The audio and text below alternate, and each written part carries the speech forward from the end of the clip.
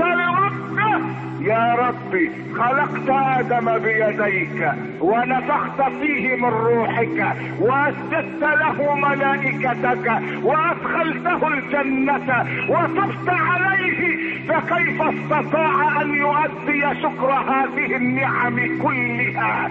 فقال له الله يا موسى يكفي من آدم أنه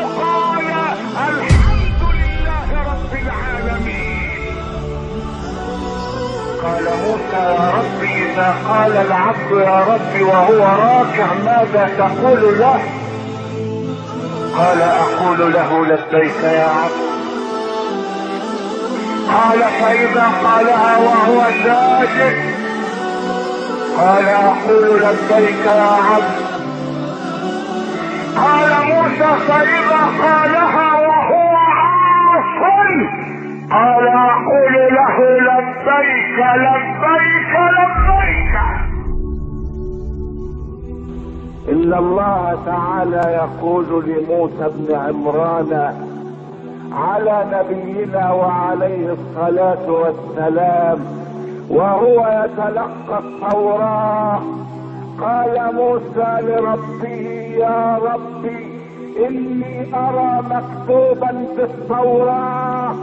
أن هناك أمة تأتي إذا استقرت اللقمة في بطونهم غفرت لهم لأنهم يبدأون الطعام بسم الله ويختمونه بالحمد لله.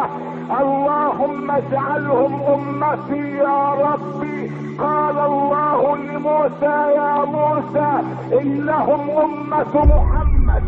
قال موسى يا ربي إني أرى مكتوبا في الألواح أن هناك أمة إذا هم أحدهم بفعل سيئة فلم يفعلها وتركها من خشية الله كتبتها له حسنة اجعلهم أمتي يا ربي. قال له الله يا موسى إنهم أمة محمد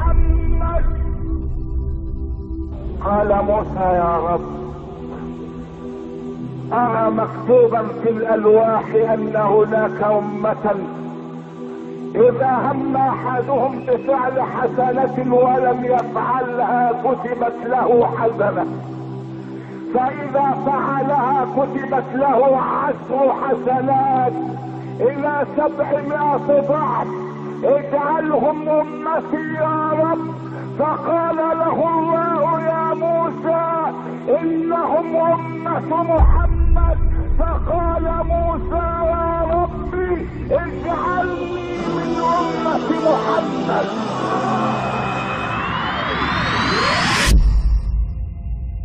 One time, some of his companions came to him in the middle of a war, in the middle of a battle.